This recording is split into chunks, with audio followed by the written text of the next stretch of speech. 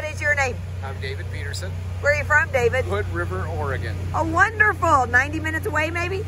About that, yeah. Okay, I've met some other people from there, David.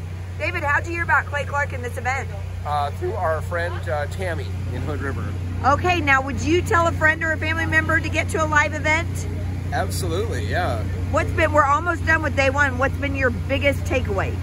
If you can name one. Oh, it's just, it's nice to have the camaraderie of, you know, like-minded people. Isn't that the you know, truth, David? Yeah, it's sweet. Like, a lot of my family and friends have kind of uh, just, I feel like, you know, isolated me. I mean, it's because of, because I'm trying, trying to take a stand for freedom. So it's, it's good to come together in these events. That helps you to stay strong and, you know, keep fighting the good fight. Awesome, David. Thank you so much. We're so glad you're here. Thank you.